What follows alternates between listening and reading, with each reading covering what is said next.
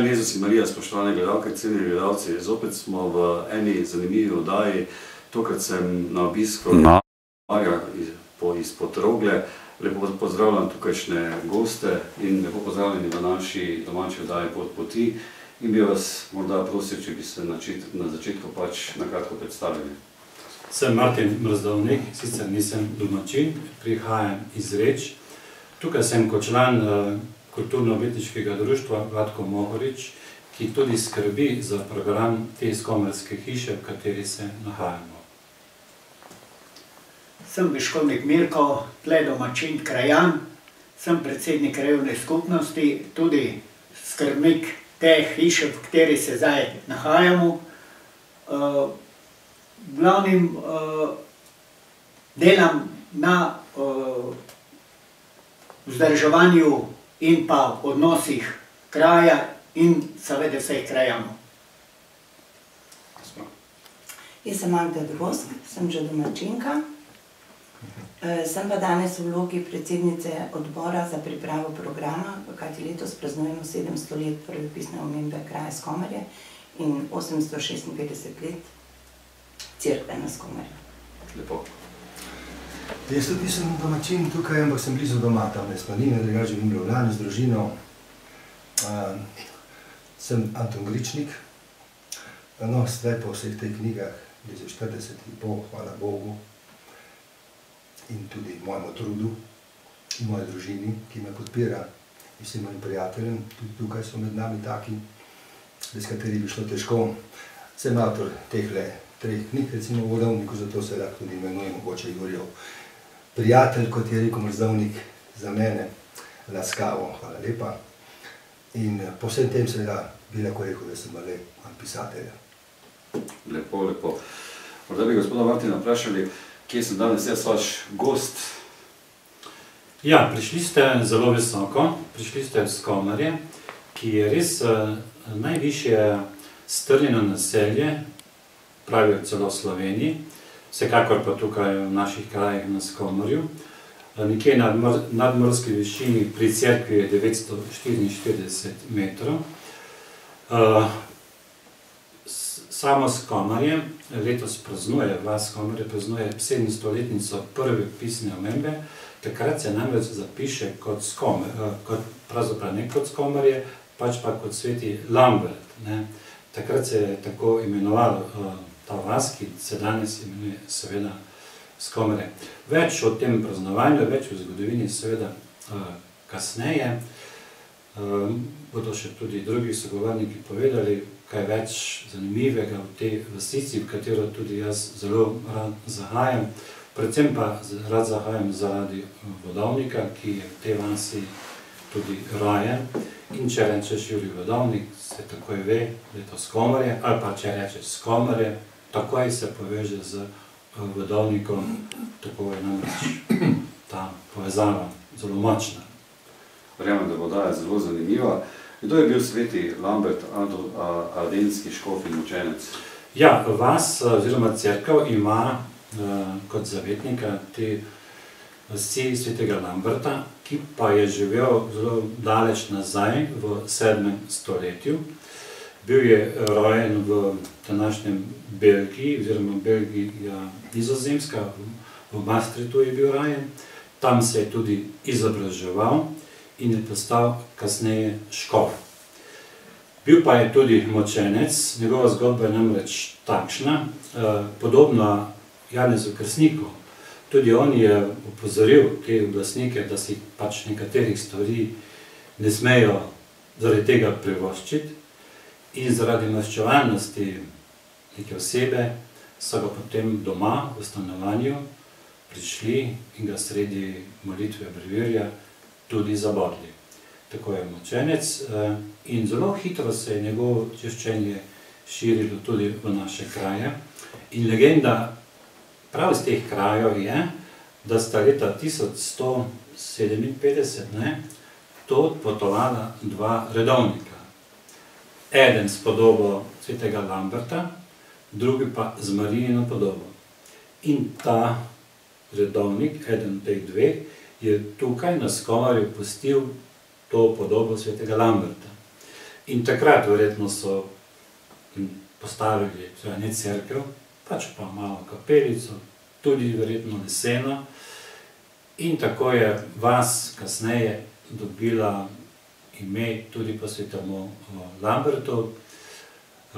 Goduje 17. septembra in prejšnjo nedeljo je bila tukaj lepa nedelja vedno se domačini zelo potrudijo, pripravijo tudi to crkveno, zunanjo slovesnost z gostujočim duhovnikom, predvsem pa seveda tudi z druženjem in kakšnim kulturnim programom, ki je vedno prisoten, tako da tisti, ki pridejo v to vas, tudi vedo, kaj se je tukaj dogajalo. Predvsem pa je vedno, res vedno poudarek na tem najbolj znanem domačinu Juriju Vodovniku. Lepo. Jaz sem vodovnik Juri, pri skomru sem doma, v raztrgani kočuri štir okence ima. Veselje moje preč je preč, ne morem si pomagati več, s težavami sem v sobdan, izdihujem noč in dan. Že golo glavco nosim, po svetu grem okol, vse sorte pesmi trosim, ne zmanjka jih nikoli. Me poznajo soromačeka, mi radi dajo vinčeka, kadar se z vincem poživim, zapojem še ljudem. V tem leti tavžen 791 sem bil položen v zibelko in rojen na ta svet.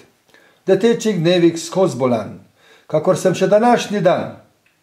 Pa zadovoljno vse trpim, da le na svet živim. Tarajni moj oče so bili cimerman, so stavili hiše koče s komarskim farmanom. Počenjaj sem, da to dajo začnemo pod Bohu in kotkom. Uh, tokrat smo uh, dotaknili, kdo je bil, da bi nam širše predstavili Jurija Vodovnika. Ja, o tem se da veliko pripovedovati. Tukaj so tri knjige, jih priporočam, kdo se zdaj zanima za vodovnika, namreč eh, bo tukaj le zvedel skoraj vse, tudi Cvetko je tukaj, vidim, Mišiča ni. To so nekateri, ki so o vodovniku pisali. No, pisal je tudi eh, njegov župnik Janez Arlič, že takoj po njegovi smrti. Pa je potem pisal še leta 900 še vitanski jaka plan Kramaršič. Tako da se v nekar, v njem kar precej piše. Je pa zanimivo, da je vodovnik tudi sam skrbel za sebe in da se je imenoval v pesmih, tako da njegove pesmi vsaj takšne niso mogli v pozabu. Drugače pa rodil se je tukaj na Skomarju, tule spodaj dol, v eni hiši, ki je sedaj ni več, druga stoji na njenem mestu. Leta 1791, 22. aprila, umrl je pa 17. decembra 858. 17. decembra še posebej rad povem in eh, si lažje zapomnim, ker sem se jaz rodil na ta dan. Pa potem, eh, seveda, jaz iz tega nič ne sklepam, ampak sem pa vesel, da to kakšno smešno rečem na ta račun. Ne. Vodovnika imam rad, že od otroštva naprej, ko sem poslušal očeta, njegove eh, pesmi recitirati, kajti vodovnik je v bistvu živel, ne samo v knjigah, ampak tudi med ljudmi, to je zanimivo. Ne. Dolga leta, dolga desetletja se je ohranjal tako, no danes je pa zaživel v svoji polni moči, tako rekoč, ne smo mu hvaležni, da smo ga imeli, da je bil tak, kakšen je bil, da niso študirati, ker bi ga potem izgubili, verjetno. Um, bil je tudi družinski oče, poročen, sicer poročil se je malo pozno, star je bil že 39 let. Vzel je eno vdovo, Marijo Goričnik, tule bila doma, je iz Vitanske fare, Kušar se je pisala, jaz sem potem zasledoval, kam se je poročila, vendar so to težke stvari, da bi to ugotovil. Sem tudi dovolil sem se v knjigi tudi s tem, da sem pač ga postavil tam nekam v Norožno dolino, če je tam mogoče bila poročena, kaj pa vem. Ampak v, taki romansirani biografiji se to sme, marsikaj, druga zgodina mora pa iti seveda svojo objektivno pot. Um, prinesla mu je dva otroka, seveda se boji, stara je bila 16 let, torej 10 let skoraj mlajši od njega. Rodila mu je pa tudi dva otroka, prvenca Vincenca in pa še Lojska potem, ampak ta dva otroka sta oba umrla. Tam pri štiri, okoli štiri let sta bila stara, to je bila za njega sigurno velikanska, velika žalost, še posebej pa za mamo tudi ampak tako pač je v življenju. Vodovnik je tudi zato mogoče se še bolj posvetil svojemu poklicu, ki ga je vse bolj spoznaval.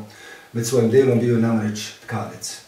To je pa tak poklic bil tiste čase, da je moral veliko hoditi v štero, se pravi med ljudi.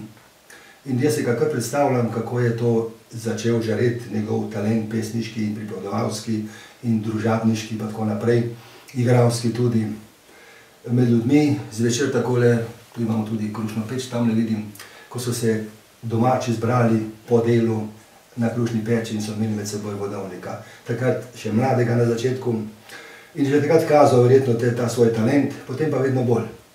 In tako da so ga potem že kar vabili na vse konce, tu po Pohorju, pa daleč okoli na Koroška, pa dole po eh, spodnjih krajih, kjer je bilo tudi kaj vina, tudi spil ga je rad, to sam priznava in mar dobro zdravnik dobro ve, ko je to študiral posebej še kolikrat se v njegovih pesmih omenja vino, kar veliko krat meni, da več kot 30, kar se tisoč gotovo, ne. E, to niti nisem jaz raziskoval. Um, tako da tisti, ki radi vino pijejo, imajo v njem tudi za svojega zaščitnika, ne. Zdaj mogoče tudi celo v nebesih. no, ker je bil taka tudi pobožna duša, moramo reči, ko je pisal, ko je po njegovi smrti pisal Janez Arlič, njegov življenjepis, je dal naslov Jurij Vodovnik, slavni pohorski pesnik, in pobožen kristjan z komarske fare. Ne. Pobožen kristjan, to je povdaril, on ga je spoznal kot zelo pobožnega človeka, se se tudi iz pesmi v njegovi vidi, kakšen je bil. Moramo pa reči, da so ga malo v prejšnjem sistemu, seveda logično, malo zakrivali po tej plati, po njegovi verski plati, podarili so predvsem njegovo borbenost, dašti proti duhovnikom pa tako naprej, kar je težko dokazati, to ni objektivno, ampak takrat je to pasalo. Ne. Tudi dr. Mišič, nažalost, je šel po tej poti, tako da je potem v eni knjigi, ki jo je našel tam le v Lipi nad Frankolovim, stari knjigi, ki se je izgubila, on jo je pa še v rokah imel. In tisti knjigi, ki jo je napisal in frankovski pesnik Gregor Gorenšek, vodovnikov mlajši prijatelj, je bilo po pričevanju tega doktora Mišiča, ki je pisal vodovniku okoli druge svetovne vojne, kratko povedano, in omenja tudi 17 vodovnikovih nabožnih pesmi. Verjetno so se vse izgubile, ker jih pač Mišič ni imel za pomembne, da bi jih prepisal. Ali fotokopiral takrat tega verjetno še ni bilo toliko, ali pa sploh nič tega fotokopiranega stroja. Tako da jaz sem se trudil pol tisto knjigo najti, vsaj enih na 40 koncev sem poizvedoval in tako dalje, vendar nisem našel. Tako da se priporočam tudi po tej vdaji, če kdo ve za tako knjigo, dragoceno, staro, je tam nekje iz leta 882, ki je bila namenjena za morje v družbo, tako naprej. No, skratka, malo skoraj preveč tega vem o teh zadevah, tako da moram se kar nasekati. Gremo naprej. Vodovnik je bil tudi zeliščar, baje je poznal skoraj vsa pohorska zelena zelišča, in ker je med ljudmi, je imel veliko priložnosti, da tudi pomaga ljudem po tej plati, pa tudi živini. Tako da so ga tudi zaradi tega zelo spoštovali radi. Imel je vedno manj nepolitikav, pa vedno bolj je tudi pesmi pisal, tako naprej. Bil je sposoben recimo priti v družbo in takoj ad hoc narediti pesem in jo tudi zapeti. E, kaj še? No, bil je pa predvsem tudi, bil je še tudi mežnar, tudi to je zelo pomembna komponenta njegovega življenja. Bil je mežnar dejansko celo svoje življenje. Najprej ministrant, potem pa tako naprej. Ne. In iz tega področja tudi kakšna pesem obstaja, recimo najbolj znana je tale Desniška, o, o tisti o procesiji pa tako naprej. Saj ljudje menda tisto pesem poznajo, ker se velikokrat poje. No, Tine mi je ravnokar dal znamenje, da naj tudi ne pozabim povedati, da je tudi bil muzikaličen, ne. Zdaj, to bo težko dokazati, ampak obstaja pa en rokopis, kjer je podpisan sam Jurij Vodovnik, organist. Tako da je možno, da je tudi na tipke potiskal kje v cerkvi. Možno je, talent je imel, seveda, zdaj, da je kakšen virtuoz bil, to ne bomo trdili. Včasih se sliši, da je harmoniko špila, vendar harmonika frajtonaca tega ni bila še po vojih, osemsto dvaindvajset naj bi nastala nekje na Dunaju. No, razen tega bila pa, je bila pa predraga, to je stalo baje kot danes, kot en par volov, ne. Kje pa Vodovnik to lahko kupil. Sicer so mogoče bile malo bolj poceni, pa tudi zato ni imel toliko denarja, ne. Tako da si ga jaz predstavljam bolj, da je bolj pel solo in brez kakšne takšne spremljave. Če pa kdaj v cerkvi igral, pa tudi mogoče. No, glavno je pa seveda pri Vodovniku, da je bil pesnik. Da je bil nadarjen pesnik po naturi in o tem pa mogoče še malo kasneje, tako zdaj v grobem nekaj o postopku njegovega življenja. Moram še vprašati, gospod Anton, kaj, kako vas, zakaj vas je Jurij Vodovnik navdušil in morda, da predstavite tudi vse te tri knjige, kaj ste v njih napisali? Ja, pa res, tole je zdaj čisto vprašanje na mestu. Že prej sem omenil, zato pa verjetno to vprašate, ker že od doma nekako imam Vodovnika v sebi. Kaj pa vem, oče nas je že nerviral s tem, jaz sem Vodovnik Jurij, pri Skomru sem doma, skoraj tega ni kočuri, širok ne gor ima. Že ta pesem je taka, da te kar pritegne, seveda moraš tudi sebe nekaj takega imeti, verjetno, ne. Zanimivo je, ko je ta pesem, ko je Arlič, Janez Arlič to pesem leta osemsto dvainšestdeset objavil v, v Slovenskih Toplinicah, da je ta pesem ponorela tako rekoč cel slovenski narod. Danes jo najdete vsepovsod, seveda v variantah, ne direktno jaz sem Vodovnik Jurij, ampak jaz sem ta pa ta, ne vem. Kdor jo je slišal in je bil malo pesnika, je takoj to pesem povzel in jo malo predrugačil in uporabil zase. To danes imate ene štirideset variant po Sloveniji vsepovsod, ne. To so eni, ki so to študirali in raziskovali, imate to, recimo v Svetkovi knjigi to piše, ne. No, potem pa o pokolskem kmetu, ta pa seveda vsak kmet pokolskega je znal. O pokolskem kmetu vam hočem zapeti. Kak mora pri delu veliko trpeti, ima žagen, mline in velike planine po Osemelu in tole dostal. So take domače, veste, on je znal tako človeku pikniti na dušo. Zdaj, slučajno je mogoče zadev tudi, da sem jaz tudi malo tak bil zgleda, da sem ne bil zdaj vidim šele nazaj, ko gledam, čujte, sej naprej ne več nič, ne. Če bi bil takrat, ko sem bil otrok ali pa ko sem bil že šola, da rekel, da bom tele, te stvari malo pisal, pa to bi rekel, pa ti si totalka, ti si nor, ne. Jaz ni da nas prav članka skupaj. Tako to gre, veste. Ampak v človeku je nekaj in ha, nekdo mora to ven izkopati, pa večinoma se to skoplje s trpljenjem. Tako smo to že slišali Bridini, ne brez trpljenja ni nič. In eh, tudi sam sem moral dati eh, peklenske muke skozi, pa ne telesne, ampak čustvene, notranje, da se je potem mogoče tole malo aktiviralo. Ale prva tole je izdala eh, družina, tukaj sem skušal zbrati vse vodovnikove pesmi, seveda sem se naslanjal na vire, Cvetka, pa na vse Domišiča, ne, Arliča, Kramaršiča in tudi Staneta Gradišnika, ki je izbistrci tudi pisal o tem izbirom. Uh, vendar tukaj sem skušal pa malo logike ne vnesti not, ker se pri vodovniku opaža ena zmešnjava. Ne. Če neko pesem ne poznaš in ne veš čigava, je se kar reče, to je vodovnikova. Ampak včasih to slomškova. Pa to ni res, pesnikov je cel kup bilo, vse posod pa tudi tam po Štajerskem. Tako da sem rekel, tukaj prvo poglavje naj bo, naj bojo pesmi, ki so res vodovnikove. Večer pogosto kaj not podpisan, ali pa so, smo našli rokopis, ne, tole dol pri Jan enemu celskemu upokojenemu um, sodniku, sodnik je bil, ja, um, borovnik Janez, ne, on pri njem je cvetko našel originale, nekaj pesmi, njegov rokopis, no, to tule imate ta rokopis, tako je pisal borovnik. Jaz sem to no, malo priredil, sicer, ampak rokopis je njegov. No in potem drugo poglavje, logično seveda so pesmi, kjer so samo domnevno njegove, ne, ker se je naknadno našel avtor. Ne. Recimo zanimivo je, zelo to se mi je odprlo, lete v Mejaškovi konji. Ta, ta pesem je malo sporna, navaja se kot vodovnikova, jaz bi rekel, reči, da rajši saj domnevno vodovnikova. Ker jaz sem pa, jaz sem pa v Botnici posnal, no, to so zdaj pravljice pa zgodbe, dolge lahko, enega mojega sorodnika, Gorenjaka, Antona, ki je zdaj že pokojni, on je rekel, moj stari ata je meni prav, da, je, da so ti Mejaškovi konji šli v graben, ko je bil ko se je on rodil. Močno ustno izročilo, ko jaz verjamem. To, sigurno, to je celo življenje pravo, pravi, takrat je bilo to. Gremo gledat, kdaj se je rodil. 862. To se pravi po vodovnega smrti. Istočasno pa vem jaz, to se pes ne more biti vodovnikov, istočasno pa vem jaz, da, da, da je bil tudi takrat na um, Keblu za učitelja en Ignac, Ignac Potnik, ki je tudi pesem pisal in jih, poznamo nekaj. Tako da te stvari zdaj, tu lahko se reče, ampak vsaj domnevno vdavnikov, tako da ne bi delali komu drugim krivice.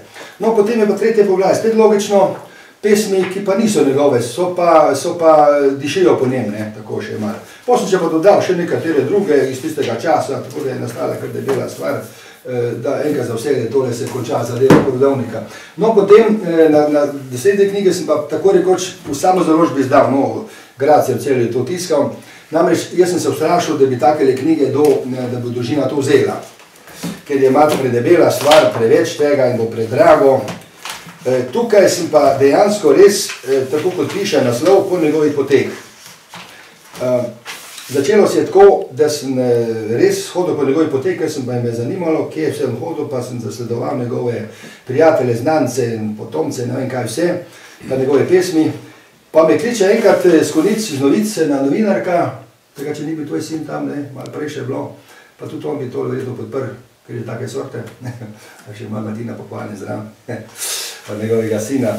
E, me kliče pravi gospod, a bi vi e, napi, e, pisali notle v novice eno, en, en, en, podliste, recimo po njegovih poteh, po davnikovih poteh. Jaz neko se to delo, pa to ne bo težko, ne. In potem sem tisto naredil dejansko je potem te, osnova te knjige, da so tiste, tiste članki bili notno. Um, potem sem seveda še to razširil, ne, tako ko se za mene spodobi, ne vem, ko sem vrži na debele stvari, veste. Ko sem enkrat videl, ko sem naredil prvo knjigo o naši kroni, naši fari, kroniko, župnije sveti Konigunde, ne, taka debela je. Um, pa sem videl kmeta s takimi debelimi rokami, veste, kmečkimi, ne, pa je šel s faro, pa takole knjigo mahal z njo, pa med ljudmi, tam na ceklenem placu, prav, pa smo tudi mi pogodci nekaj. Ne. In zato pa nekako se mi je zdelo, da, da, da le mora biti nekaj do roke vzeti, ne, da tudi ta zunanjost nekaj pomeni, da boš pesmo včasih rekli, je imela svinja. To je bilo tokle treba. Če ne je kugarca bila, oziroma gospodinja bila je podcenjena. Ne. No, ko sem to vse prehodil, seveda je pa logika bila tole, da bi pa to probo malo romansirano biografijo. Ne. To sem pa razmišljal, prvi, drugi, tretji osebi, kaj bi zdaj. In sem potem se lotil najbolj drzne v prvi osebi. In začel v prvi, prvi osebi pisati tole, eh, ker sem že tudi doživel take na rekovajih neumnosti, kaj se vem, prav, eh, verjameš v preseljevanje duš, mi je en učitelj vprašal enkrat, da gre na takli, takli mizi. Sem rekel, zakaj pa to? Ja, prav, pa, kaj pa če je v vodovniku se va, kakšna varna duša, se je vas preselila, sem rekel, kaj ga tako pravi, sem rekel, ja, to so za heci, pa tako smo te stvari. Mi imamo krščanstvo, vemo, kako krščanstvo uči, jaz se nam zdaj spuščal tiste indijske filozofije, pa tako naprej. No, in prvi osebi pišem, tako da sem tudi e, sebe lahko malo te izrazil. Eni pravijo, da je tako, po, po, po sebe sem opisal. Ne, ne, ne, je, sem zadržal prvo davnika natančno, koliko se je dalo, na koncu je še neka igra v njem, e, ko sem ga v igri privedel tukaj na otvoritev te hiše. Tako sem si zamislil, da pride vodovnik pomeša med ljudi, no se to si lahko preberete, da ne bi preveč prav. In potem pride, pa zgine, tako naprej in se ljudje sprašujejo, kaj kje je zdaj Jura, kje je zdaj, kot da je tle, pa ga ni, pa smo ga tipali, tako rekoč, ne. Tako kot apostoli Kristusa, ko je šel. No, tako, e, to si morate brati, eni, dva vem, da sta prebrala, sta rekla, da je v redu, drugi se pa bojijo, en je rekel, do polica sem prišel, pa sem pa upal. Veste, načrtujem to enkrat, da bi jaz tole skrajšal za polovico, ali pa za še za tretjino, se da to veste, skrajšati, ker sem tole res eh, dal vse, kar sem kje dobil okolo davnika. Tako, um, Sedaj bodo se pa verjetno naši gledalci vprašali, kje se da, ta, kje se da te knjige kupiti. Ja, tole, dobiti? tole družina, če še kaj ima, Še. prva, to še mogoče ima zdaj, pa še mislim, da ima popuste celo. Tole dvoje, ha, tole še imam jaz nekaj, te tretje, te druge nimam več, tole sem bil zdaj zadnjič še v občini prvasti, še tam še nekaj imajo. Ne. Ne. Ti si imel, Martin, idejo, dobro idejo, da bi takle recimo občina bila takrat tole zvezala, pa mogoče škatlo ali pa diktrak ali kaj, pa bi to dejala tako, da to pa je darilo polež. Ne. To pa je vodovni tudi. Čeprav, prosim, Cvetka, ne smem podcenjevati, ne daj, ne. To pa je pravijo bolj znanstvena zadeva. Ne. So tudi note, not pa tako naprej. Tako da, Cvetka, vsakemu čast.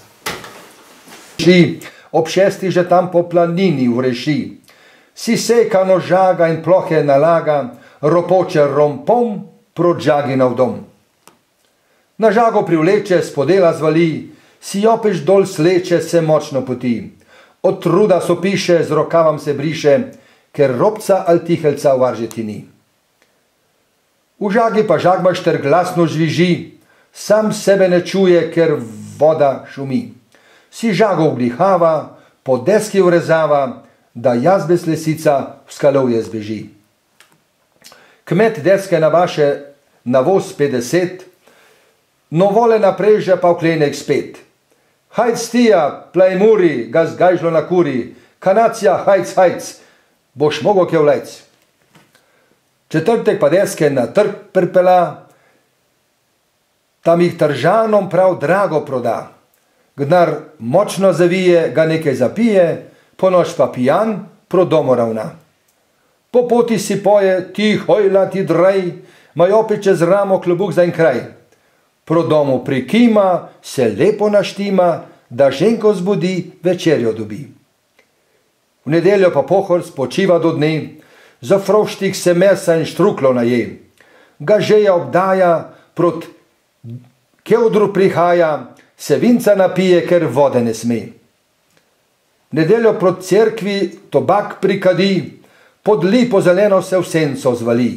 Si tam odihuje, tobak nadejuje, ko v kup pozvoni, še tobakec kadi. Ko mašnik pristopi, en krak pozvoni, se poharc odpravi, se cerkvi spusti. Tam zunaj postaja, je z takega kraja, da njemu za pridgo veliko pač ni. Zdaj še treba gospod vprašati, kako pa vi vidite Julija Vodovnika, kot pesnika, pisatelja? Ja, no, tudi jaz moram reči, da sem se kar hitro zaljubila, ko sem prišla na skomarje od tega Jurija Vodovnika. Uh, jaz sem to gledala iz druge platine. Meni se je zdelo, uh, mogoče malo poklicno tudi, ali pa poklicna deformacija, da je to treba prenesti na mlajše rodove, da se to mora ohraniti, da, da morajo zvedeti, kako je živel, kaj je delal, kaj je pripravljal. In mene, recimo, je najbolj prevzelo to, da eh, takrat ni bilo šole. Ne? In on je bil toliko ukažen, da je, da je dovolil očetu, oziroma verjetno ga je celo prosil, da ga je naučil branja in pisanja. To se pravi, on je bil rojen v bistri, inteligentni družini. Takrat so bili drugačni časi. Um, tisti boljši, višji sloji so govorili nemško, ne? Slovenščina takrat ni bila v rabi. In zdi se mi predvsem zelo pomembno to, da je on pa potem pisal slovensko. Ne? Če, če ne bi on znal pisati, tega ne bi bilo. In ker ni bilo šole, ga je naučil oče in to je meni tisto, kar, kar me je mogoče res zelo prevzelo. To je treba poudariti. Um, drugač pa, da se mu je zdelo vredno, poglejte, on je, on je hodil po pohorju, jaz imam en star znucan koš, ne, to je iz njegove pesmi. On je potoval po pohorju na hrbtu Baje, je nosil ta star znucan koš brez dna. Za mene to pomeni, da je bil ta koš brez dna, ker je on pisal te pesmi, da je on noter, da jih ni bilo nikoli konca. On je hodil med ljudi, tisto, kar je videl, je napisal, kar je občutil, je napisal. Se pravi, da je na začetku pisal na podboje, na, na vrata, na mize, kamorkoli je prišlo. Ne? Ljudje so ga imeli radi, vabili so ga med sebe in pri vseh takih pomembnih dogodkih je on bil zraven. Ne samo to, da je hodil v štero, ker on ni samo znal brati in pisati, on je znal, on je hodil zdraviti živali domače živali, ne? on se je celo tega naučil, tako da je bil en tak domač veterinar, kar je bilo takrat in še danes je to pomembno, nekje na vasi, da imajo enega takega človeka, ko ga lahko pokličajo, kadar recimo se krava teline. In to je on znal, potem je bil tkalec. Ne samo, da je hodil v štero, on je hodil tudi okrog, on ni imel niti, kaj vem, kaj bi mu danes rekli, mogoče bil en tak vandrovček, mogoče nemiren duh, poleg tega doma, družina je bila kar številna, najbrž tudi ni bilo kruha, dovolj za vse v tistih časih. In vse, kar je videl, kar, kar, je, kar je slišal, on je to vse zapisal. In zato se je tudi ohranilo iz tega vidika, vidim, da je pomembno, da je pomemben, da se vidi, kaj se je takrat počelo, ne? kakšne navade so bile, kakšne običaji, kaj se je recimo počelo pri kolinah, kaj se je ob lepi nedelji, ne? ta znamenita, ko je že gospod Gričnik povedal, o lepi nedelji eh, pri svetem Jakobu je bilo upravilo, to je ena taka pesem, ko se je tudi, ko je vedno znova želim prenesti na te mlajše rodove, ker eh, imam tudi eh, rahlo skrbim za, za kulturni utrip tu v vasi in kadar je kakšna taka prireditev, potem zberem otroke in vedno je prisotni Juri Gotovnik, brez njega ne gre. Ne. Ker se mi zdi, da je to tisto bogatstvo, ko ga lahko naprej prinašamo. Lepo, lepo. Kako pa vi vidite, Jurija? Ja, našega Jurija jaz vidim pa tako, da je uh, to s tem, da je bil Juri tu rojen, tu ustvaril. Lejte, iz njegovih pesmi se točno da videti, kako je, so ljudje tiskrat živeli, kaj vse so delali in ki vse je on to svoje platno nosil, ko je bil tkavc, ne, ko je platno tkav in ga nosil okrog, tako kot je že bilo rečeno. Uh, in tako je ljudi spoznalo in tudi pisal. In tako se je tudi širilo ime našega kraja. Ne samo, o, o, kar je on napisal, da je predstavil, kako so ljudje živeli, ampak ponesel je tudi sloves našega kraja naokrog. In uh, tako je malce bilo čudno vse, da smo mi kot še otroci vse zvedli od staršev za Jurija, kaj je pisal, njegove pesmi, ne pa v šoli. Torej, Juri je bil nekaj let pozabljen, kar pa ni bilo dobro. In mislim, da zdaj, ko smo to stvar obudili, pa uh, Jurija predstavili in se je o tem začelo kar veliko govoriti in pisati, in je tudi s tem kraj pridobil sloves. Tako da mislim, da Juri je zelo, zelo pomembna osebnost za skomarje, kot tako kraj. Lepo, hvala. Preden gospoda Martina vprašam, kako vidi Jurija Vodovnika, moram prenesti pozdrave naših gledalcev, ki ste že kar nekajkrat bili naš gost. Gledalcem ste bili v, v Šveči in Bogu, Bogu hvala in vam prenašam uh, lepe pozdrave. Eh, Pa bi vas morda prosil, eh, kako vidite vi Jurija Vodovnika kot pesnika, pisatelja? Da mogoče kar nadaljujem misel gospoda Beškovnika, da je bil vodovnik eh, v nekem obdobju pozabljen. Sam sem bil rojen v tem času in res tudi sam v dolini dolgo nisem slišal o njem. Eh, Večkrat, mogoče tako na kakšnih kolinah, ko so ga že malo možakarji popili, so pa zapeli to pesem in zdelo se mi je, da se te pesmi nekako sramujejo. Zakaj vidim te pesmi, recimo mi ni jasno, zakaj se ta pesem ne sliši kakšni drugi priložnosti. Zakaj ravno na kolina, ko ima vsega že preveč, ne? No, seveda pač v mladosti si kot mlad človek teh vprašanj pač ne postavljaš toliko. In res v vodovniku bil je ta čas, no moram pa povedati, da tam po 50. letu, nekje 58. leta, je dr. Mišič izdal še to drugo knjigo, v nekateri je ta lipav list, in s komarjani so mu postavili tukaj v vasi eh, ta spomenik, mislim, da je bil v tej priložnosti, ne? ali pa so ga takrat predstavili na to stran, bi pa prej nekaj spali. Skratka, tam okoli leta 58 do 60 eh, je bilo še kar slišati nekaj o vodovniku. Gotovo tukaj v Skomarju precej več, oziroma verjetno tu ni utihnil. Utihnil je verjetno v dolini. Pač eh, prišle so na dan druge eh, modne zadeve. Uh, se ne spomnim, da bi kdaj kakšna šolska proslava izvenela v to smer. Se res ne spomnim. No, moram pa povedati to, da smo tam po letu 70, ko sem uh, tudi sam bil član pristopa nekemu društvu in sem rekel, ja, ti se zanimaš za to, kar je zgodovino, pa bodi uh, tale sekcija za ohranjanje kulturne dediščine, pa to dela. Ne. Misliš, da iz tega pač tako in tako nekaj zadobiti. Ne. Skratka, eh, snoči je bil tukaj eh, dr. Kmece, Matjaš Kmece, in spomnim se, da je takrat, ko je bil on minister za kulturo, enkrat on dal en tak apel. Dajte, poiščite, poglejte vaše, oziroma naše korenine in pripravite bilo je 8. februarju, kakšno takšno zadevo. In s tem smo dobili, pravzaprav jaz sam sem dobil neko zagotovilo, da to lahko naredimo in smo v zrečah postavili na oder njegovo pesem, ljudsko pes, ljudske pevce. Nič kaj nismo dodajali, tako kot poje tukajšnji človek z ljudskim načinom petja. No, moram povedati, da je bila dvorana sveda polna, kajti ljudje od ust do ust se je širilo, a pel bomo vodovnika. Glejte, in to se je prebudilo.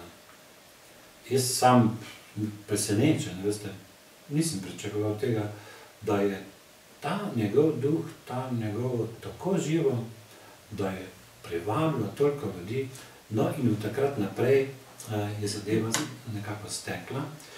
Prisoten je bil tudi etnomuzikolog Igor Cvetko in je to zadevo videl. Mi smo sicer imeli idejo, veste, bolj enostavno, da bi naredili ponatis te druge Mišičeve knjige, pa je on predlagal, da bi bilo to škoda, da dajmo pogledati, koliko je vodovnik pa živ v tem času še. Ne?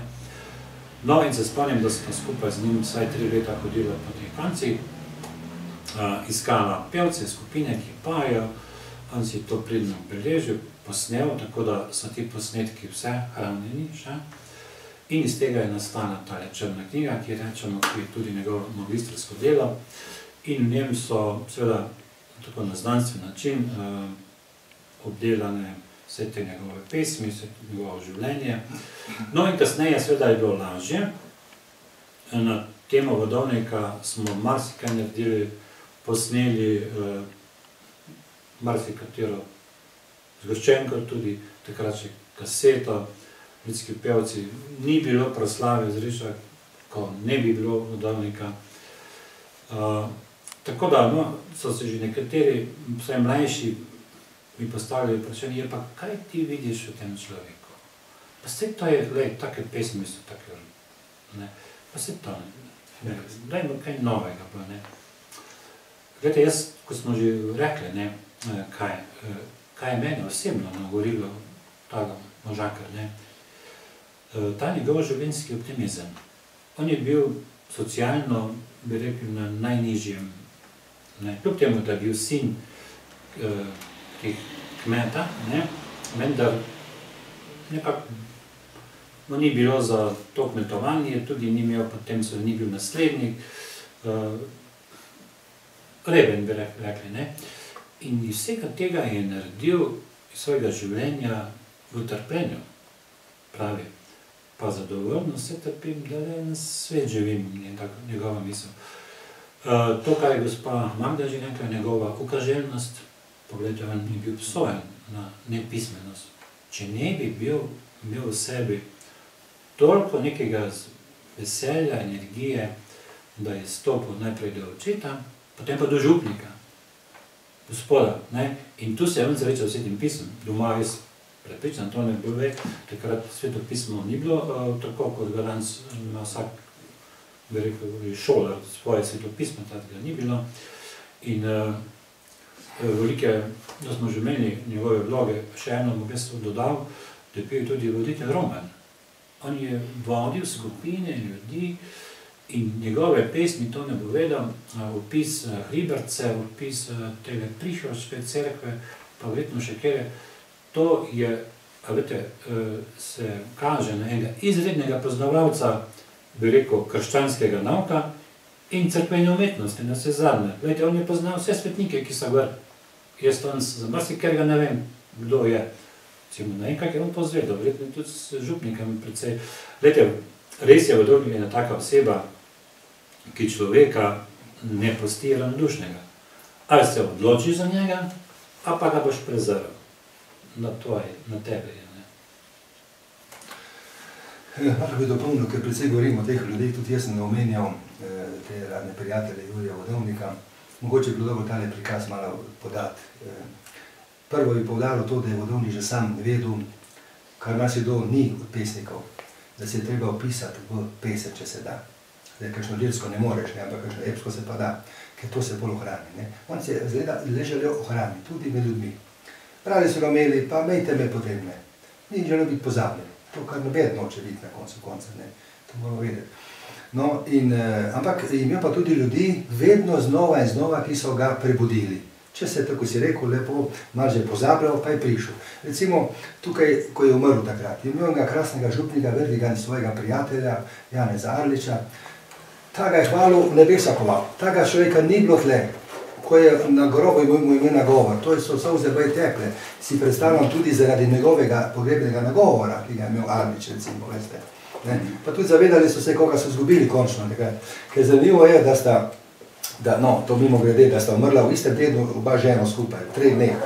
Žena v, v torek, on, on v, v četrtek.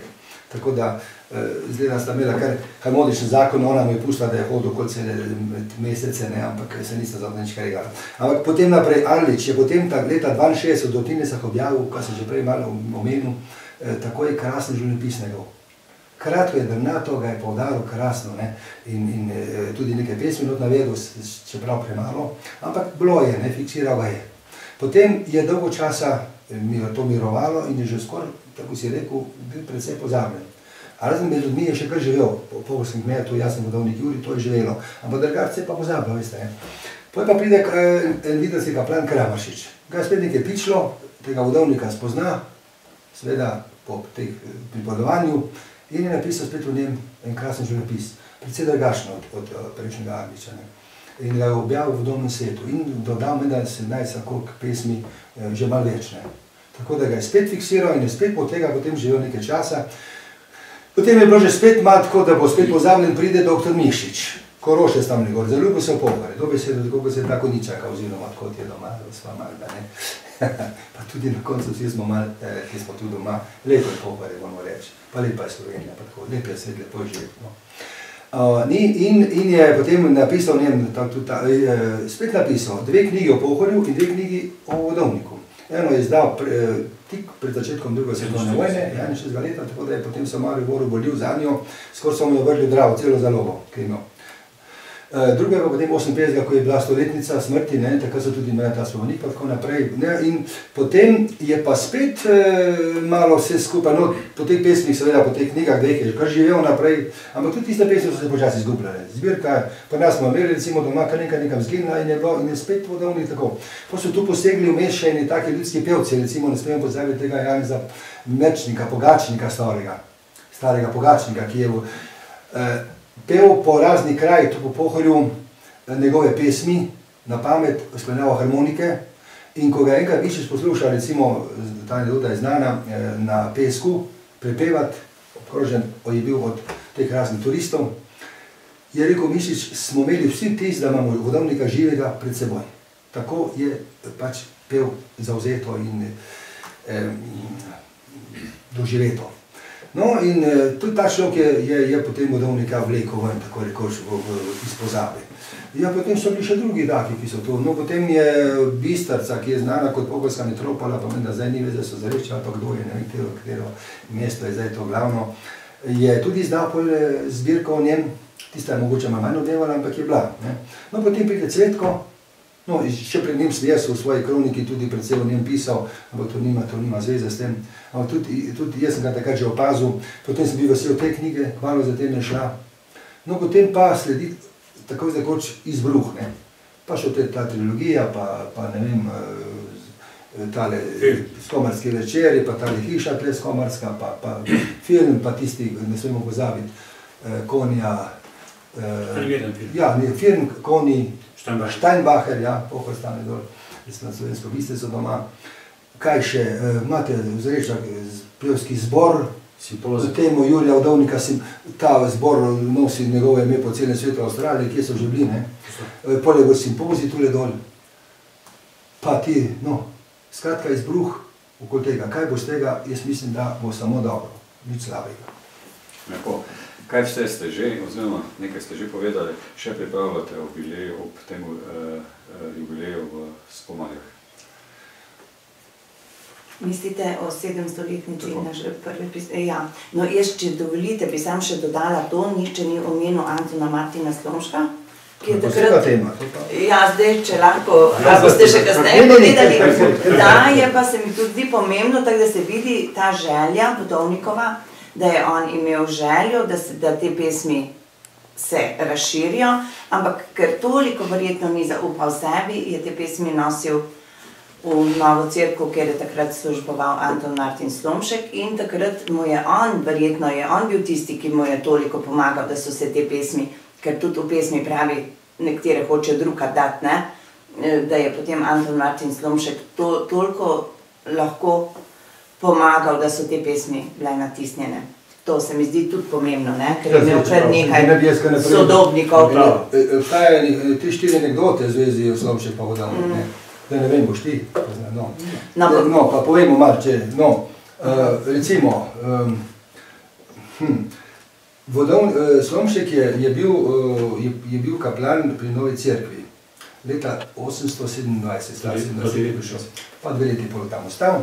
In on je bil tak, kakršen je bil, se o njem ne bi govorili, ker vemo, kakšen je bil, ne, ampak naduševalec pač za vse dobro in tudi za pesem, pa skulpturo, pa tako naprej. In je privabilo te pesnike z tega konca. Ravno knjigi, ki sem jo prej omenjal, tistega Goreva Gorenčka. Tam not je eh, označeno, da je, je Slomšek takrat okoli sebe zbral pri Novi cerkvi, pri tistih nedeljskih eh, Šolah. šolah, kar kakšnih 15 mogoče takih ljudskih pesmi, med njimi tudi Julija Vodovnika, ker ta Gregor ga not omenja v tisti knjigi, ki je pa izgubljena na žalost. Ne. In uh, ta Gregor tudi potem je zapustil svoje zapuščine, nekakšno anegdoto, da sta nekoč potovala skupaj v Šetandraž, ko ko je bil že Slomšek škop v letu 1842 in da je Slomšek um, nima vsakmu podaril po en goldinar. To naj bi bilo baje precej, da sta potem celo pot prepila in prepela. Slomšku na čas. Ne. Pa še to verjetno spada ta anekdota v, v tisti čas, tale knjiga ima naslov, jaz hočem biti frajnik. To je, eh, naj bi bila originalna vodovnikova izjava Slomšku. Poslušajte, ni rekel šlo predrzno, ampak iskreno. Slomšek je rekel, čuj, tam slišim, da ti po pohod nekaj vandraš, pa hodiš, pa ženo zapuščaš, pa to nekaj, kaj ga lomiš. Slišim tudi ne vse najboljše, ne pa popivaš, pa to. Pa poješ pa to, ne. A ne bi ti k meni prišel, te smo te zamežnali. Je pa tole rekel, ne gospod, jaz hočem biti fraj. E, to jaz razumem, se knjiga cela zveni po tem eh, refrenu, ne. E, človek ko želi biti fraj. Karkoli te otešnuje, ni dobro, ne moreš se izražati. Nek, v dobre mora biti človek fraj, svoboden, In vodovni se tule, te ne pogoči čutil svobodnega. Je šel vsaka hiša, kaj je lepo sprejela, tepli so se skoraj zanj, ko je prišel višji. Bodi pri nas, pa, pa tle prespi, pa tle bodi, pa prid pri nas naprej, pa kaj pove, pa kaj zapoj, pa tako naprej. Tako si to predstavljam, verjetno tudi tako bilo. No in eh, to je taka anekdota, potem kaj še recimo, ja, anekdota je tudi znana, nekje sem jo bral, ko je Slomše potoval, ko je bil izbran za celskega opata.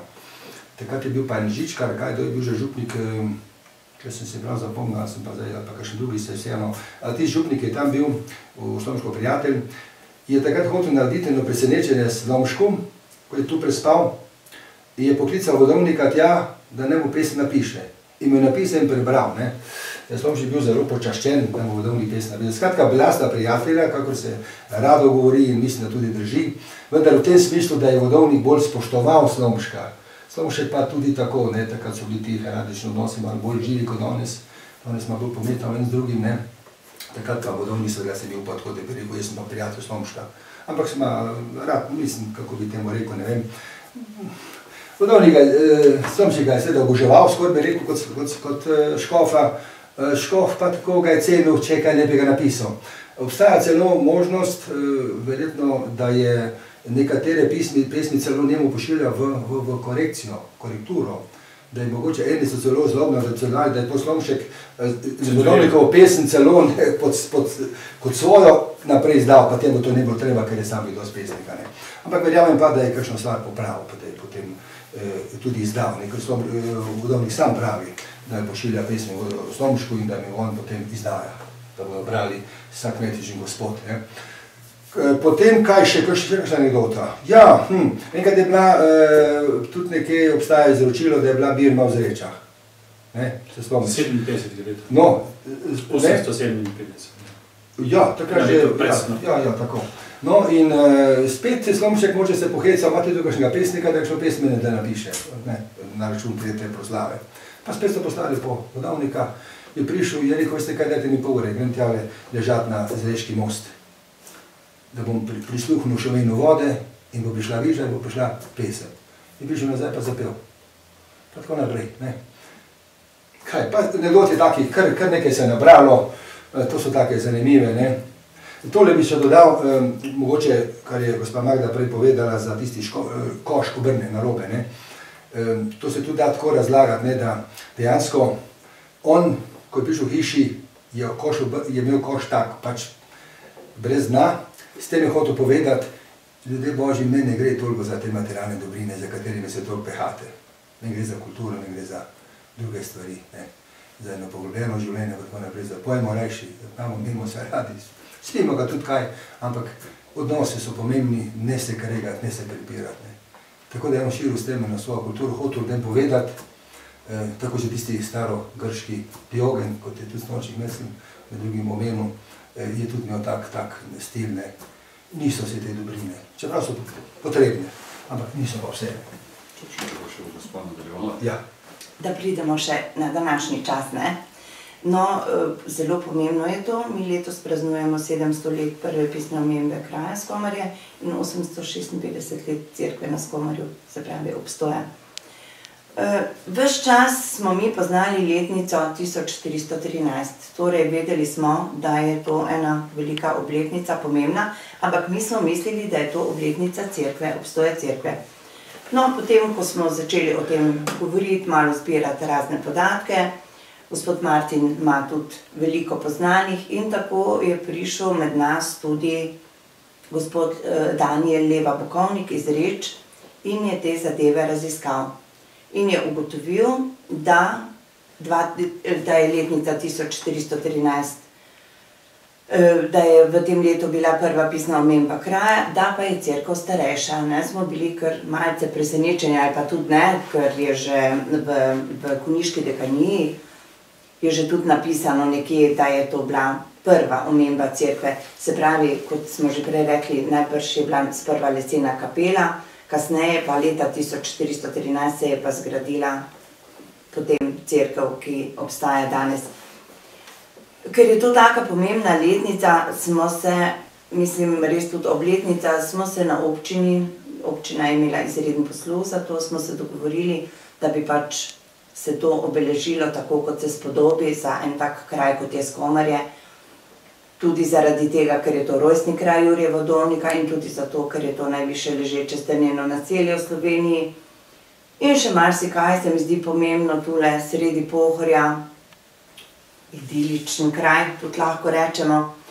Smo se odločili za kar malo širše praznovanje in smo rekli, da je to letos naše praznično leto. Zdaj, če vas zanima, kaj vse smo pripravili za to leto, pomembno, zelo pomembno se mi zdi, da je potem ta gospod Danijel Leva Bukovnik napisal tole zgodovino Skomarja v tej knjižici, Skomarje skozi stoletja.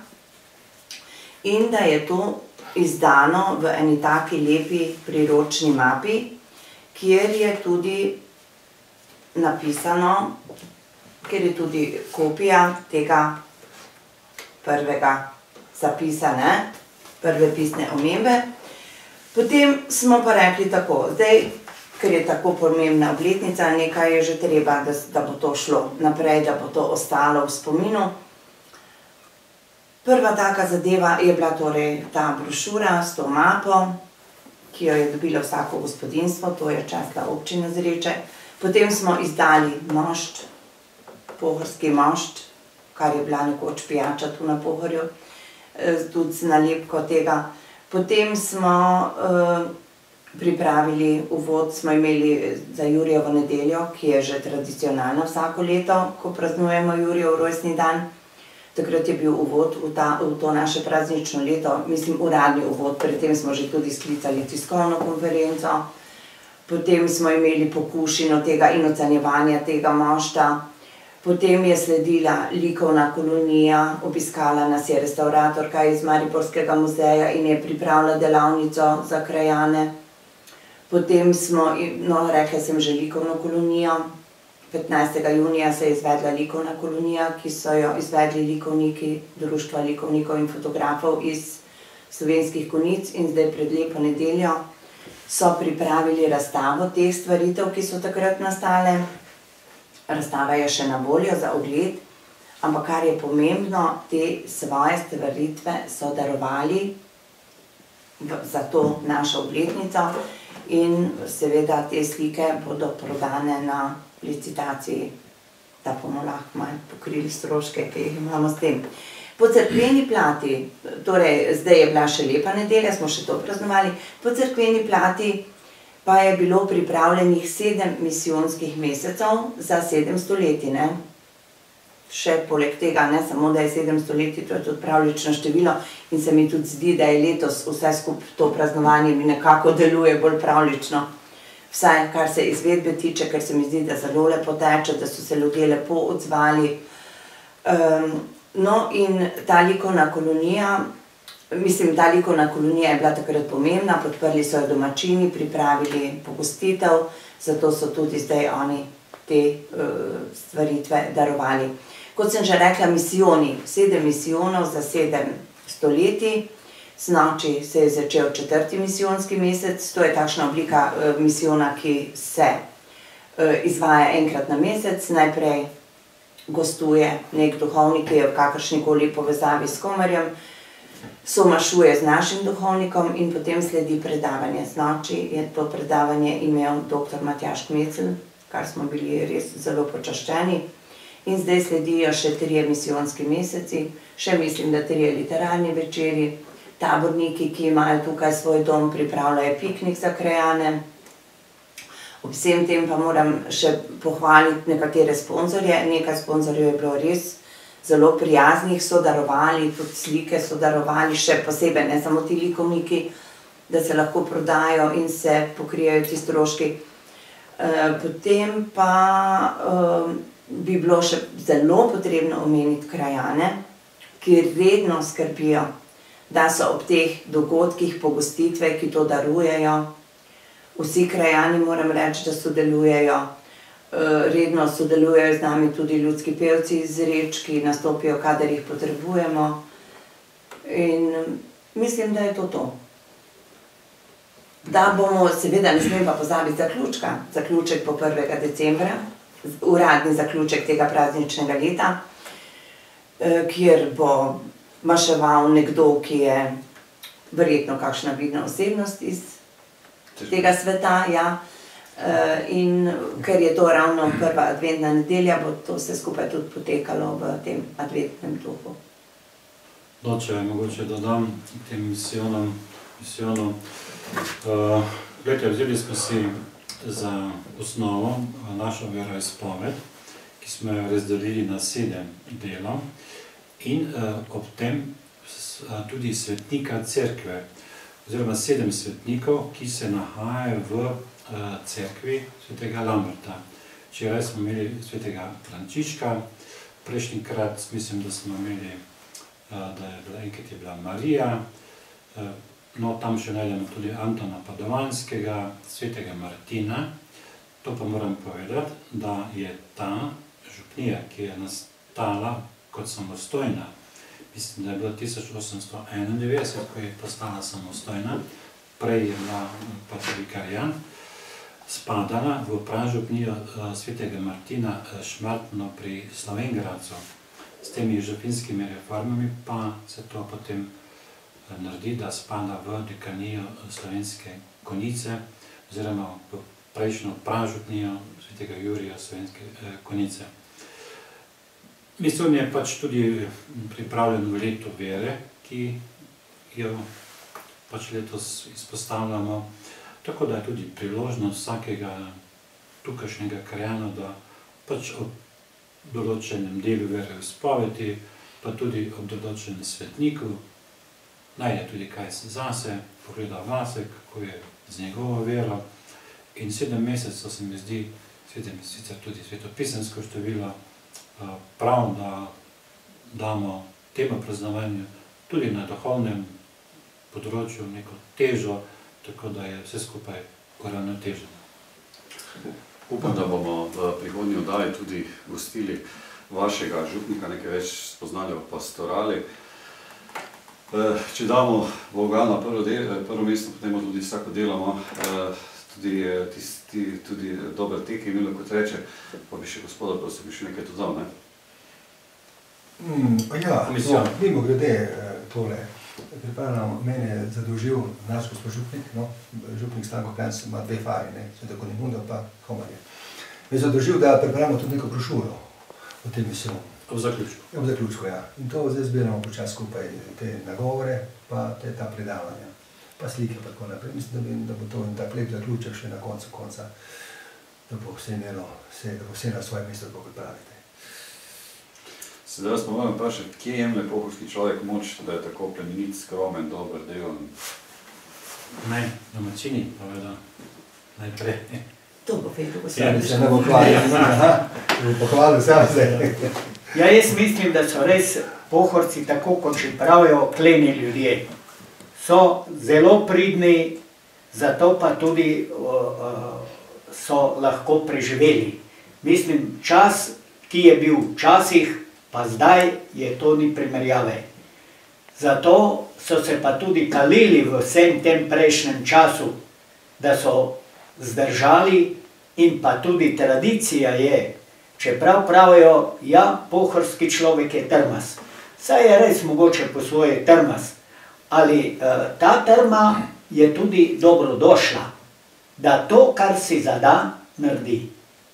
In jaz mislim, da je vsa pohvalo zaslužijo, kot je že bilo tle rečeno, da ko jih rabiš, če se kaj organizira, zmeraj so pripravljeni pomagati in stvari izpeljati tako, kot morajo biti. Lepo. Kako pa mladi rod spominja, se spominja uh, rojaka Jurija Vodovnika? Ja, no, kot sem že malo prej omenil, um, seveda, mladi verjetno imajo danes druge vzornike, druge junake, žal samo takšne za en dan, za eno sezono mogoče. Vete, vodovnik je junak na daljši rok. Res. Uh, potrebno si ga je le malo zdaj srcu približati njegovo življenje in uh, lete v njem se zasluti tudi mlad človek lahko. Zasluti enega človeka, ki mu ni bilo nič poslano z rožicami. Res. Uh, in to je danes seveda ena velika nevarnost tudi za mlade, ki vse, vseh teh dobrinah, ki so na razpolago, veste, nekako zgubljajo tlan pod nogami. In vsaka prva težava, joj, joj, joj, ne ve, kako bi jo rešil, so že, seveda, da ne bom govoril o samomorih. Ne. Skratka, veste, pohorski človek se je kalil v težavah. In vedno res tukaj, pogledajte, je našel tudi svojo moč za naprej, tudi v veri. Zato je tudi tukaj cerkev, pogledajte, zelo hitro bila postavljena, življenje tukaj um, ni bilo lahko in seveda um, tako računati, da mi pri tem pomaga še Bog, je plemenita misel. Ne? In tudi ljudje so marsikdaj tudi bili uslišani vsega tega, zato so tukajšnji župniki, mislim, da zadnji je to vas zapustil nekje po letu 60, verjetno nekje, bili seveda hudo dobrodošli da so tem ljudem seveda vlivali tudi upanje. Glejte, ja, težko je živeti, ni lahko teh, seveda ni bilo dobene ceste, zima, tudi kakšne bolezni. Ampak vendar, če bomo tako skupaj, če bomo zaupali, bomo. In, in tako je preživel človek tukaj. In to, ta optimizem, to trma, kot smo rekli, v pozitivnem smislu, eh, se mu je zapisala v gene in tako, ko se človek, je danes lahko, a vete, tudi v tem cajtu zor polanca, ne, tako je Bodovnik rekel, tem, ki smo doma v dolini, ne, uh, ne, boriti se je treba, ni poslano z rožicami. A smem dodati eno tako anekdotico, spet malo bolj, da, da bo, da, da bo malo bomo malo poživeli tole stvar, pa so me ne, ne zamerijo, ker resnično je, ne, ko so leta 787 ustanovili to dekoracijo ne, časa je življenizma, potem pa nekako je bilo premalo ljudi, pa nekako so rekli, to bomo zdaj ukinili, ne, ni, nimamo tog župnika, kaj je zelo en razlog, in je prišlo to do dekana Konice, Uh, dekan pa to m, ni pustil ne, in je iskal razloge, kako naj to ohrani, zdaj to operacijo, škoda je, ne. par let je funkcionirala, zdaj pa kar takle, ne. In škofija je že rekla, ja, ni to ukinimo, konc. Ne. In dekan je pisal pismo, v kateri je tudi navaja, to misliš me napiše, ne. E, komično stvar pravi, tudi s tem je dokazoval, pravi, poglejte, skomarjani so bili do, do, do, do, do te ustanovitve taki in taki, pravi, šele zdaj, ko imajo koracijo, so postali pravi ljudje. No, pa je pa škof to prebral, pa je videl, ja, če je pa tako, ja, potem pa kar pustimo tu koracijo, pa naj bo, ne, da bojo skomarjani v redu ljudje še naprej, a pa ne so skomarjani, tudi vsi pohorci, pa zrečani, pa tako, štajerci. Skratka, mogoče crkva danes je precej tepena, pa kregana, pa po moje, pa po, po precej po krivici, kakršnakoli je, ker so pač ne ljudje, ima pa velikansko funkcijo in to bi želel, da ljudje spoznajo širom sveta in podprejo, kljub napakam, ki bo, so bile in bodo. Lepo, lepo, hvala, da tako. E, smo v najbolj gledani krščanski vdaji pod poti, vas vseeno moram vprašati, kaj vam pomeni sveta manjša e, molitev? Kaj ti začni? Aha, pogledaj, uh, bil sem rajen v takšni, danes bi rekli, tradicionalni kmečki družini, kjer je molitev bila vsakodnevno opravila, pa ne samo pred jedi in pojedi, tudi zvečer. Stara mati, teta, pa še neki drugi ljudje so bili kot številna družina, uh, ker je to pač bilo uh, živo. In uh, obisk, uh, maše nedeljo, recimo to samoumevno bi rekel, tudi prazniki, zapovedani, ki jih je včasih bilo več, danes jih je zelo malo, so se malo skrčili ti. Gotovo, mi smo doma zreča pod Brinjevo goro, romarsko crkvijo, kjer so mimo nas svoj čas, bi rekel, drli romari, ne, peš seveda na Brinjevo goro. Uh, Poglejte, in če človek to nekje v mladosti doživiš, pa seveda si moraš ozreti tudi sam, da se rečemo, ta dokument govori o osebni veri. Ne. Sam postaviti vprašanje, ali jaz zdaj verujem zato, ker je moja stara mama tako verovala, pa mama, pa ata, ali je to tudi moja vera. Ne. Zdaj to se moraš razčistiti. Ne. In ko enkrat to postaviš, ko ste vi rekli, če je Bog na prvem mestu, je vse drugo na pravem mestu, potem zadeva popolnoma funkcionira in bistvu nedeljske maše ni dobena, bi rekel, mora, doben, ja, imam obisk, pa ne morem iti, vete, to je čisto samoumevno, da tudi če obisk pride, da pač obisk gre zraven. Ali pa počaka doma, recimo, ne, kakorkoli. Glejte, to uh, jaz osebno prakticiram, uh, po, pa se trudim tudi, gledajte, tudi živeti potem, če se le da, vendar, gledajte, tu smo pa ljudje, včasih tudi kdaj zatajimo, ne, v tem, pač tako je. Človek takšen krkovit je. Jaz bi še naše gledalce oddaje pod poti povabil na krščanski portal RKC, kjer si lahko tudi Marino svetišče na Brinjevi gori ogledajo in morda tudi kdaj po Romajo se splača. Eh, to dajo pripravljamo v Skomalski hiši, bi vas pa zdaj prosil, če nam predstavite to Skomalsko hišo. Ja, tu Skomalska hiša, vidite, to je prav kmečka hiša na tem južnem obronku Pohorja. To je edini primer tle. Uh, zdaj hiša je iz 1803. leta, torej je stara leta 210 let, je lesena, pritlična s črno kuhno dimnico. Peč je brez dimnika, zato je tudi nastala ta črna kuhna dimnica. Je zelo obiskana, je zelo obiskana in ljudje so zelo zadovoljni, da to vidijo, saj mlajši, saj mlajši. Ker spodnji deli še so zmir taki, kot so bile pred 210 leti, ampak menjano je pa samo ustejše. Ker je seveda hiša stara bila, treba je bilo pokriti, ustrešje je segnilo in je bilo ustejše menjeno. Vsi ostali prostori so ostali taki, kot so bili zatečeni. Tako da, torej, hiša ima kuhno, vežo, glavno hišo in pa štiblic. Tako da, mogoče tej hiši manjka tudi tista zadnja hiša, ko tako radi pravimo, pa ki je bila skoraj pri vseh teh hišah starih, ampak tle jo pa žal ni, ker je bila zadaj preša, pa je tista skupaj padla in se ni dalo več to obnoviti. Zato zdaj ti tudi taj preša ni, ampak tudi zadnje hiše ni. Lastnik te hiše je sedanji komet oziroma svati komet, ki je to hišo uh, uh, 92. leta odkupil v stanju, ki je bila za zrušiti, ne, ki se je hotela porušiti. In tako je tudi potem s pomočjo spomeniškega varstva obnovilo. Tako da je zdaj ta hiša tudi spomenik prve kategorije.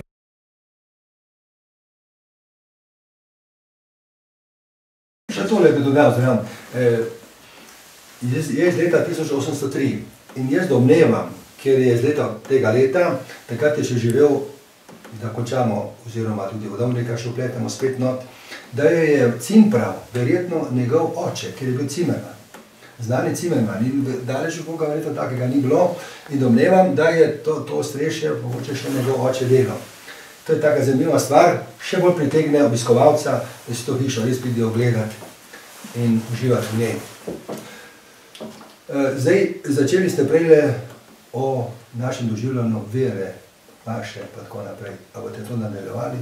Kaj? A jaz potem, Eh.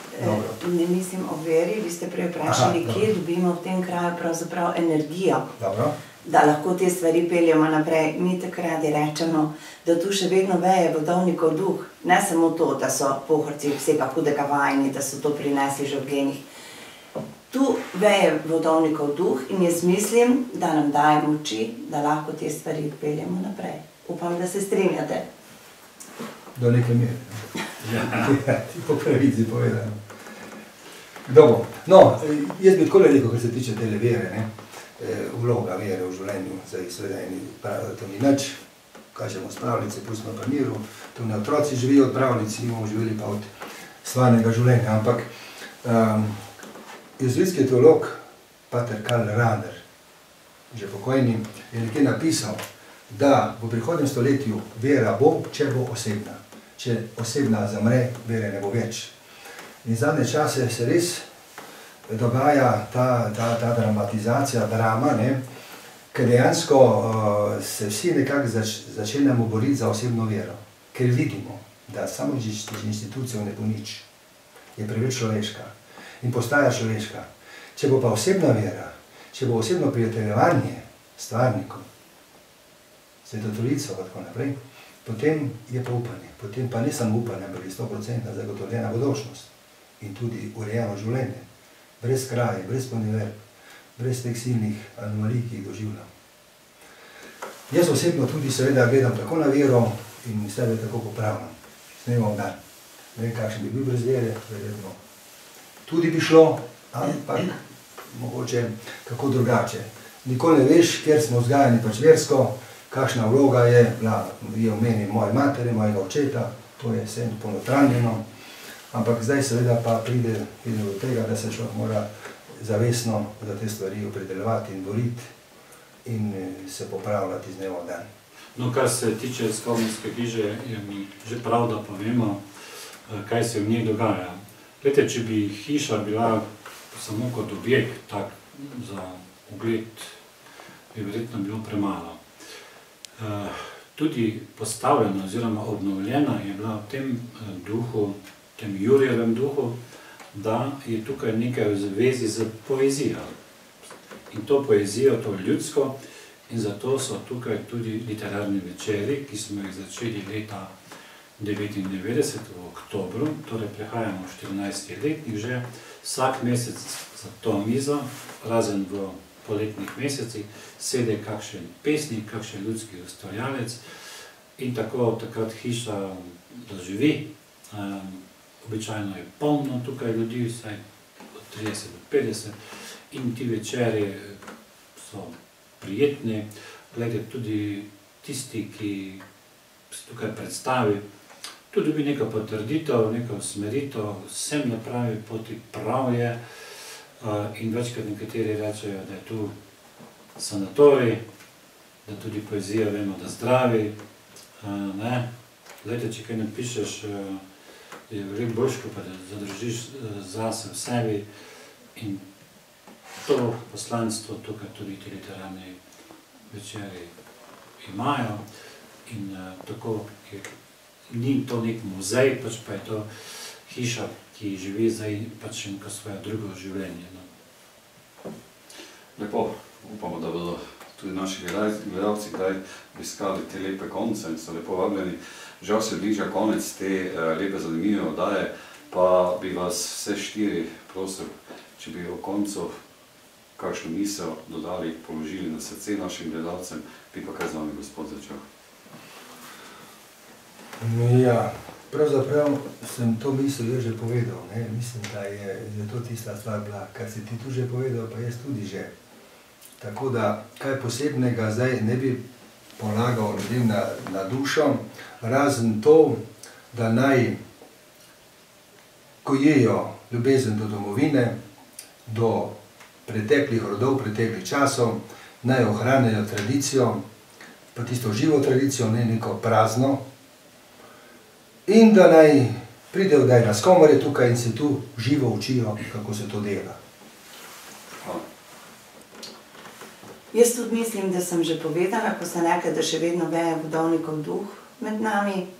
Bi pa želela še to poudariti, da si zelo želim, da te zadeve ne bi zamrle in da bi mlajši rodovi znali to spoštovati in peljati dalje. Hvala. Jaz bi pa to dodal, da so vsi obiskovalci, vsi ljudje prisrčno vabljeni v naš kraj, da si ga pridejo pogledati in da tudi drugi vidijo, kako mi živimo tle in kaj ustvarjamo. Imamo kar precej kaj za pogledati, pa bi bilo to kar vredno. Verjetno mi boste tudi kaj zanimivega znali povedati, pokazati. Tudi, tudi vse stvari zgodovinske, ki imamo, imamo od te uh, hiše, spominske sobe našega pesnika Jurija Vodomka in pa prelepo cerkev, ki se da vse pogledati, ogledati in tudi kaj povedati o tem. Hvala lepa. Mogoče čas, ki ga živimo, je seveda stresen, tako radi rečejo, poln takšnih ali drugačnih informacij, tako da včasih človek ne ve, kaj je prav, kaj ni prav. Eh, Težko se odločati o vsem tem. Od časopisov do interneta, do vseh teh medijev, buta v nas. Ne? In tu je potrebno biti previden, eh, potrebno je stvari predsediti, kot je že menda Sokrat rekel, skozi cedilo, ne, dobrote, eh, ljubezni, pravičnosti, Glede, to je potrebno. In uh, kakšen takšen miselni izlet v, v te čase, v Dovnikove čase, tudi v njegovo izročilo, je zelo dobrodošel, pa tudi v te poharske gozdove, kjer se najdeš dovolj miru, da človek razmisli o svojem življenju, pa poišče v sebi tisto, kar je prav. Jaz se vam vsemi srca zahvaljujem, da smo predstavili Jurija Vodovnika, spoznali to, ta lep kraj, skomarje. V življenju vam želim uh, veliko zdravja, obilo Božjega blagoslova in vse dobro. Aha. Dragi prijatelji, poslovili se bomo uh, za skomarja z tistim lepim krščanskim pozdravom Hvaljen Jezus in Marija do naslednjega snidenja v oddaji Pot poti. Z vami sem bil vaš moderator oddaje Pot poti Albič Krabel. Vabljeni ste tudi, da nam še naprej tako zvesto pišete in morda vas bomo obiskali z Bogom.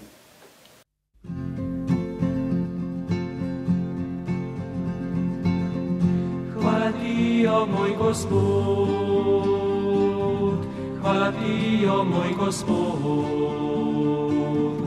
hvala ti, o moj Gospod, hvala ti, o moj Gospod, da nam sonce vsak dan sije in ogriva nam življenje, razsvetljuje pot vseh tistih, ki te iščejo, Gospod. Za vse zvezde in za luno, hvala ti, o moj Gospod, ki so kakor moje sestre, hvala ti, o moj Gospod, na nebo si jih postavil, hvala ti, o moj Gospod, in jih dal vsem, ki so v temi. Hvala ti, o moj Gospod, hvala ti, o moj Gospod, hvala ti, o moj Gospod, hvala ti, o moj Gospod, hvala ti, o moj Gospod, hvala ti, o moj Gospod, hvala ti, o moj Gospod. Hvala ti za mater zemljo,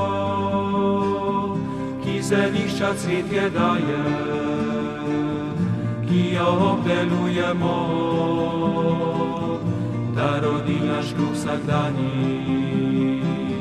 Za pogumne v trpljenju, hvala ti, o moj Gospod, odpuščajo ljubezni, hvala ti, o moj Gospod, daj svoj mir ima Gospod, hvala ti, o moj Gospod, ko življenje zvečeri se. Hvala ti, o moj Gospod, hvala ti, o moj Gospod, hvala ti, o moj Gospod, hvala ti, o moj Gospod. Hvala ti, o moj Gospod, hvala ti, o moj Gospod,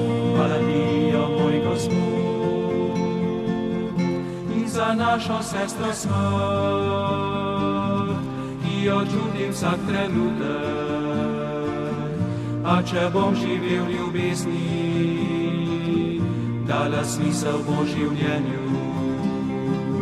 Za ljubezen, ki je v svetu, hvala ti, o moj Gospod, ki tvoj dar je vsem ljudem. Hvala ti, o moj Gospod, Za življenje vseh otrok, hvala ti, o moj Gospod, ki prenavljajo na svet.